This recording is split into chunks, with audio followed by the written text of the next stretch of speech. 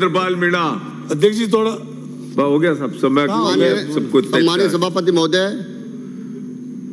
धन्यवाद आपने मांग पत्र उनतालीस और चालीस पर मुझे बोलने का मौका दिया इसके लिए मैं आपको दिल की गहराई से बहुत बहुत धन्यवाद अर्पित करता हूँ। सभापति सभापति महोदय राज्य सरकार के पूर्ण बजट 2024-25 में विधानसभा मुख्यालय जमरामगढ़ को नगर पालिका गठित करने का ऐतिहासिक सौगात दी। बजट सत्र के दौरान स्वास्थ्य शासन मंत्री नगर विकास विभाग ने नगर पालिका गठन करने की कार्रवाई प्रारंभ कर दी है। इस ऐतिहासिक सौगात के लिए माननीय मुख्यमंत्री महोदय, माननीय वित्त मंत्री महोदय, माननीय नगर विकास मंत्री महोदय का संपूर्ण विधानसभा वासियों की तरफ़ से बहुत बहुत धन्यवाद अर्पित करता हूँ। माननीय सभापति महोदय, जम्मा रामगढ़ नगर पालिका गठित होने से जम्मा रामगढ़ मुख्यालय शहरी सुविधा मिलेगी और जम्मा रामगढ़ से पलायन रुक सकेगा।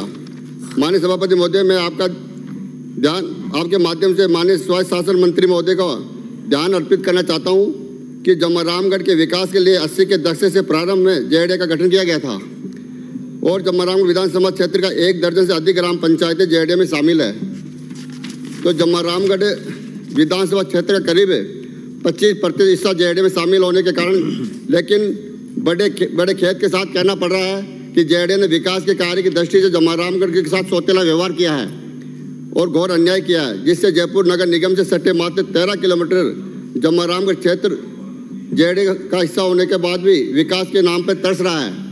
जयपुर शहर से तीस चालीस किलोमीटर दूर के हिस्से, जगतपुरा, गौनेर, शिवदासपुरा, मोहनपुरा, फागी, अजमेर रोड टोक रोड, सिक्कर, ये जेडे मास्टर प्लान में शामिल होकर सेक्टर रोड बना दी गई है और सेक्टर रोड बन रही है। लेकिन जमारामगढ़ विधानसभा क्षेत्र में सेक्टर रोड बनने पर कोई विचार नहीं किया जा रहा है। सभापति महोदय सेक्टर रोड है तो छोड़िए। जमारामगढ़ विधानसभा क्षेत्र में जेडे की अच्छी गुणात्मक सड़कें भी नहीं बना रहे हैं, सवाल ये उठता है कि जमारामगढ़ विधानसभा क्षेत्र में, जब जेडे को विकास कार्य करवाने नहीं है तो फिर जेडे क्षेत्र में हमारी पंचायतों शामिल करने का क्या फ़ायदा? सभापति महोदय जेडे जमारामगढ़ विधानसभा क्षेत्र में सड़वा से लेकर जमारामगढ़ रामगढ़ भान तक दो किलोमीटर पहले ही फोर लेन सड़क, जो 2016 में करीब सत्तर करोड़ रुपए की लागत स्वीकृत की गई थी जो आज भी अधूरी है, जेडे जेडे ने एक मीटर के लंबे व चौड़े मीडियम की साइज़ की गठा दी, जेडे सड़ जेडीए ने सड़वा से लेकर रामगढ़ वाहन तक के आधे हिस्से में रोड लाइट लगाई है आधे हिस्सा बिना रोड रोड लाइट के अधूरा पड़ा है। सभापति महोदय फोर लेन के मापदंडों के अनुसार न पट, न पटरी बनाई गई है और ना ही नाले, नालियाँ बनाई गई है। फोर लेन सड़क के दोनों ओर जुगाड़ी पैड, जो वर्षों पुराने पैड थे, उनको काट दिए गए लेकिन पौधारोपण नहीं किया गया और ना ही बसें बस बस यात्रियों के लिए सुविधा की गई। न स्टॉप या न, स्टाफ या यात्रियों के लिए शेड बनाए गए। दो पुलियों का काम आज भी अधूरा पड़ा सभापति महोदय। मेरी मांग है कि फोर लेन सड़क की कमियों को खामियों को दोबारा सुधार के उनका सर्वे करके और मापदंडों के अनुसार बना जाए ताकि दुर्घटनाओं से बचा जा सके। सभापति महोदय जेडे ने उन्नीस सौ सत्तानवे में नारदपुरा में जेडे कॉलोनी बसाई थी। जेडे कॉलोनी बनाकर जेडे वहाँ उसको भूल गया। नारपुरा जेडे कॉलोनी में केवल चार प्रतिशत लोगों को पट्टे मिले हैं। उन छियानवे प्रतिशत भूखंडधारियों को सत्ताईस वर्ष बाद में भी पट्टे नहीं मिले हैं। सभापति महोदय मैं आपसे आग्रह करता हूँ कि सभी भूखंडधारियों को शिविर लगाकर पट्टे दिया जाए। जेडे कॉलोनी में बड़ी संख्या में भूखंड खाली पड़े हैं जिन पर अवैध कब्जों की भी जानकारी सामने आई है। नारपुरा जेडे कॉलोनी में पीने का पानी नसीब नहीं है।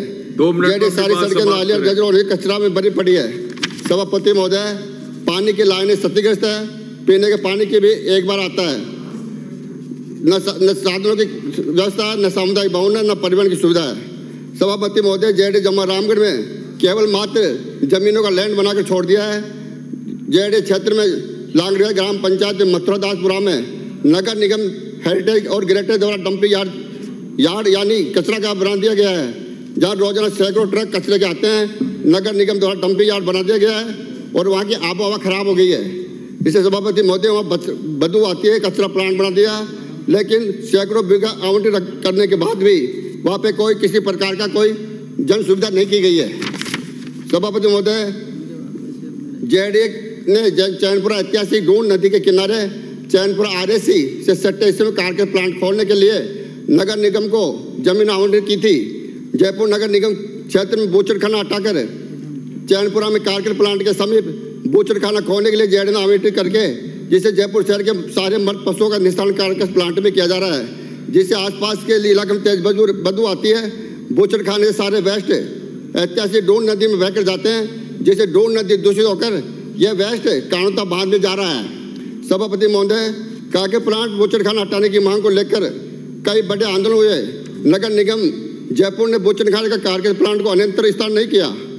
जब रामगढ़ क्षेत्रवासियों की मांग है कि चैनपुर आर एस के जवानों एवं क्षेत्रवासियों के स्वास्थ्य को ध्यान में रखते हुए दोनों प्लांटों को दूर किया जाए।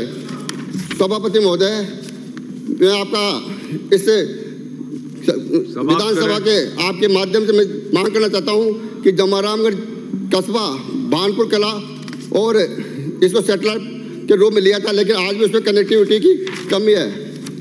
सभापति महोदय जमारामगढ़ क्षेत्र अधिकांश क्षेत्र इकोलॉजिकल जोन से शामिल है। जिसके चलते मुख्यालय में किसी प्रकार का विकास नहीं हुआ। सभापति महोदय मैं आपका मैं आप मैं आपको धन्यवाद देना चाहता हूँ कि आपने मांग संख्या